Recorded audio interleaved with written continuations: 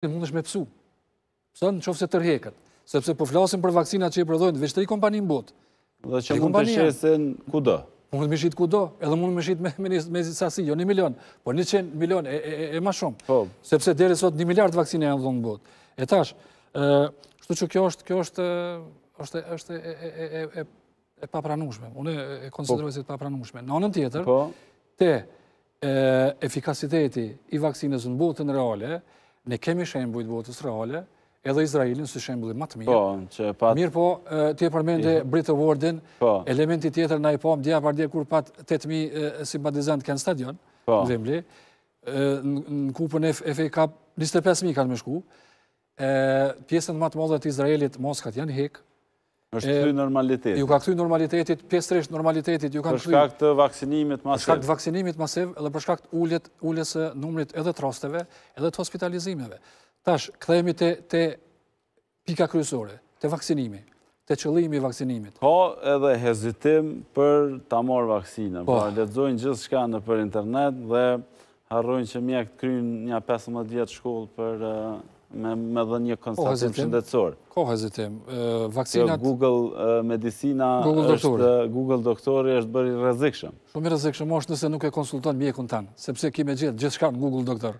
Gjithçka ki me gjetë, mirë është mu informu. Po. Edhe shumë mirë që e konsultojnë, edhe shumë mirë që pacientat e sotëm lexojnë. Por edhe ata doktora që nuk janë Google doktor, po kanë hezitim.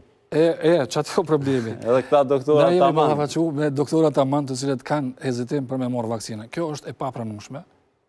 Edhe ky është mesazhi më i keq i mundshëm që mundet një punëtor shëndetësor me dërgu n'popullatë. Sepse sa krijon kjo panik te popullata. Panik te popullata derisa doktori vetë. Nëse doktori s'e merr vaksinën atëherë normal që ai hezitim ka me qenë 10 herë 100 herë më i madh te popullata. Pikërisht për këtë arsye, heziti unë kam bisedu me punëtorë shëndetësorë në krejt Kosovën. Hezitimi ishte hezitimi te AstraZeneca. Hezitimi është po te AstraZeneca është hezitimi një pjesë, pjesa tjetër kanë hezitime edhe te lloji i vaksinës. Keni qenë i ashpër duke thënë se duhet ta lënë mantilin e bardhë të gjithë ata që hezitojnë ta marrin vaksinën. Po tash te media, një fjalë me thonë, kur të citohet dikush duhet me u citu me pikë edhe me presje. Edhe me thonjëza. E unë e kam thonë, unë e kam thonë, Nëse? Kjo ka qarkulluar në atë... Ka qarkulluar, po. mirëpo unë s'kam përgjegjësi për portale që m'i livritin kunjat e fjalëve. Unë e kam thonë live, edhe e kam shkru. Edhe kur ta marrësh shkrimin, duhesh me përcjellë, qështu qysh e kam thonë. Unë e kam thonë kështu.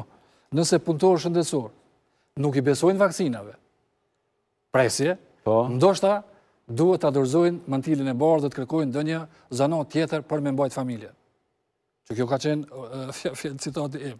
E tash, hezitimi për AstraZeneca, hezitim për vakcina përgjithsi ka pasë, jo veç për COVID vakcinë. Po sidomos dekadën e fundit. Mirëpo, armë ma të fuqishme në parandalimin e smundjeve në botë, sesa vakcina, s'ka në historinë e njerëzimit. Vetëm brenda një viti, 2 milion deri 3 milion jetë njerëzit,